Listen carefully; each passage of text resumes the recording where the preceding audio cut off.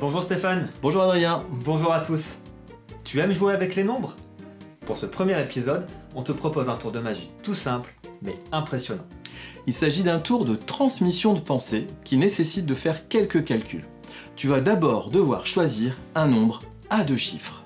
Tu devras ensuite lui soustraire son chiffre des dizaines, puis son chiffre des unités. Nous sommes accompagnés aujourd'hui par Monsieur Pythagore, spécialiste des nombres. Il va te donner un exemple. Bonjour, jeune mathématicien. Imaginons que tu choisisses 34. Son chiffre des dizaines est 3 et son chiffre des unités est 4. On calcule d'abord 34 moins 3, cela fait 31. Ensuite, on calcule 31 moins 4, on obtient 27. Merci Monsieur Pythagore. Il reste une dernière étape, mais maintenant que tu as compris, c'est à toi de jouer. Choisis donc un nombre à deux chiffres, celui que tu veux. Tu peux mettre en pause le temps pour toi de faire les calculs. A tout de suite. Allez, joue le jeu. Mets en pause pour faire le calcul.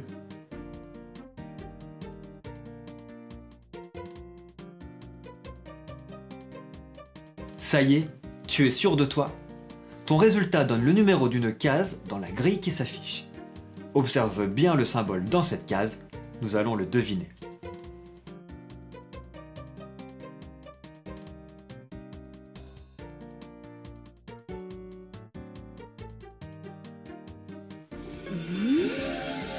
Ah, je vois rien, je ne vois rien. Mais, mais oui, il manque la baguette magique. À la baguette. Attention, hop là Et voici la baguette. Impressionnant, non? Waouh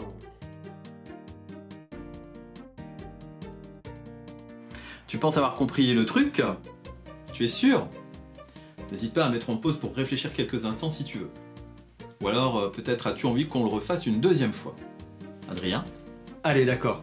Choisis donc un nouveau nombre à deux chiffres, soustrais-lui son chiffre des dizaines, puis celui des unités, et à nouveau, observe bien la grille pour retrouver le symbole qui correspond à ton résultat.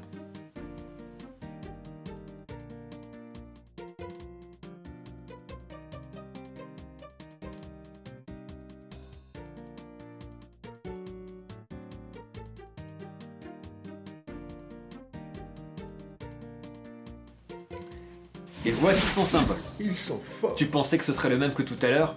Eh bien non. Adrien, je crois qu'il est temps de faire la lumière sur cette histoire. C'est parti. Pour bien comprendre, Stéphane, je te propose qu'on prenne un petit peu de matériel. Bonne idée. Je vais aller voir ce qu'il y a dans notre vieux coffre. Des petits cubes. Super Comme à l'école, on va pouvoir manipuler les cubes pour observer un petit peu la construction des nombres. Reprenons le nombre 34.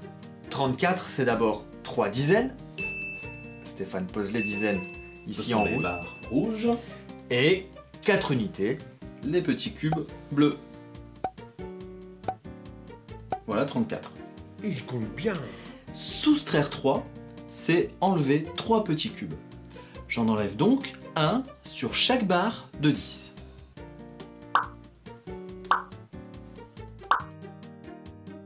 Ce sont maintenant des barres de 9. Et soustraire 4, eh bien, c'est soustraire les 4 cubes unités que je mets sur le côté.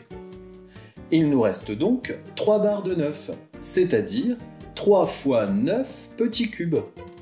Le résultat obtenu est donc un nombre qui est dans la table de multiplication par 9. Et cela fonctionnera toujours ainsi. À chaque fois, on enlève les cubes unitaires, on enlève sur chaque barre de 10 un petit cube, et le nombre de cubes restants se retrouvera forcément dans la table de 9. Or dans la grille, tous les nombres de la table de 9 ont le même symbole. C'est donc ce symbole que le magicien doit faire semblant d'avoir deviné. Euh, mais dis-moi Stéphane, on a quand même obtenu deux symboles différents dans les deux fois où on a réalisé le tour. Comment est-ce possible? Eh oui, petite astuce, en fait, la grille change à chaque fois qu'on fait le tour. Malin Ah, les filous. Si toi aussi tu as envie d'être le magicien, on te laisse les grilles dans la description de la vidéo, tu peux les télécharger et ainsi impressionner tes amis. On te laisse à présent un court instant, car c'est la minute des grands.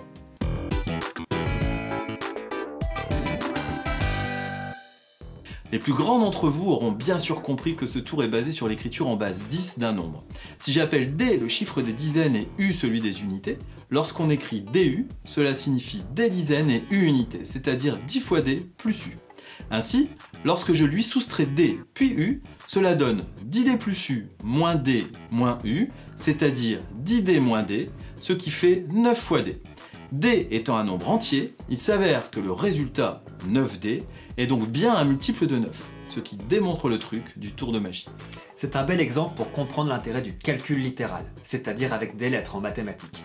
Là où les plus novices ont besoin de petits cubes pour visualiser l'explication, les plus experts peuvent utiliser le calcul littéral. Non seulement c'est rapide et pratique, mais surtout cela permet en un seul calcul de prouver une fois pour toutes que ce tour fonctionne, quel que soit le nombre choisi. Alors qu'avec la technique des petits cubes, il faudrait le vérifier pour chaque choix de nombre, un par un. Et voilà, c'est tout pour aujourd'hui. On espère que cette vidéo t'a plu. Si c'est le cas, n'hésite pas à la partager à tes amis et à liker. A bientôt Adrien. A bientôt Stéphane. Et merci Monsieur Pythagore. Y a pas de quoi, à bientôt. Et n'oubliez pas, on fait des maths.